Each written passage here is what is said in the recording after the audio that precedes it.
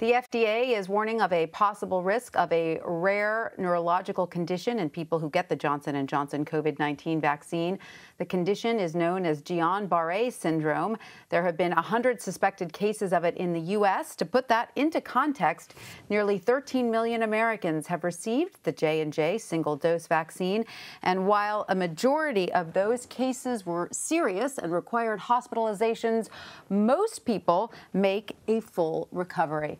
I want to bring in Dr. Brittany LeMonda now to explain exactly what this syndrome is and what you need to know. She is a senior neuropsychiatrist at Lenox Hill Hospital in New York City.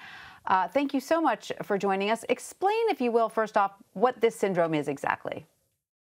Yeah, so thank you so much for having me. So, as you pointed out, it's an incredibly rare neurological condition. Um, it's it's an autoimmune condition, which basically means it's the body's immune system attacking itself.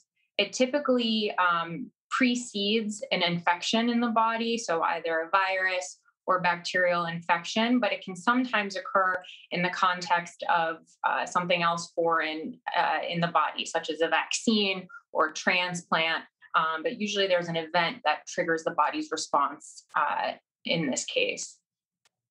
Who is most at risk and what signs should people be watching out for?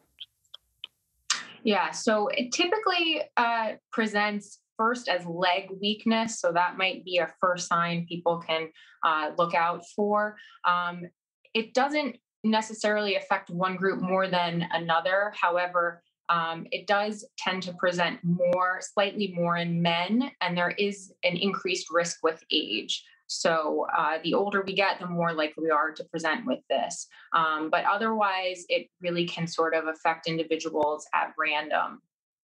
Now I can. Um, and Johnson & Johnson said in a statement that the chance of having this occur is very low, and we strongly support raising awareness of the signs and symptoms of rare events. So what do you say to patients who are concerned about getting or who have already gotten this particular shot?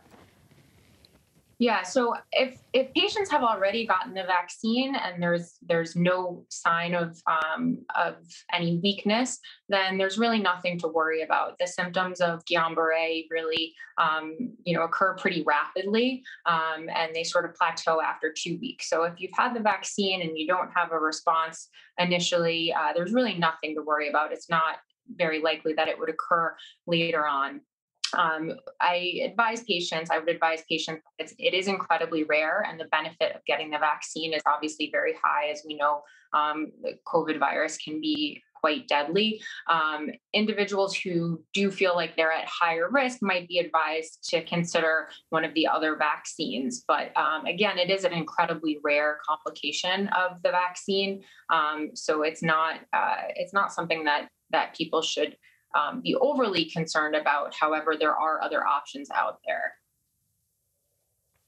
Dr. Brittany LeMonda, thank you so much for joining us. Thank you.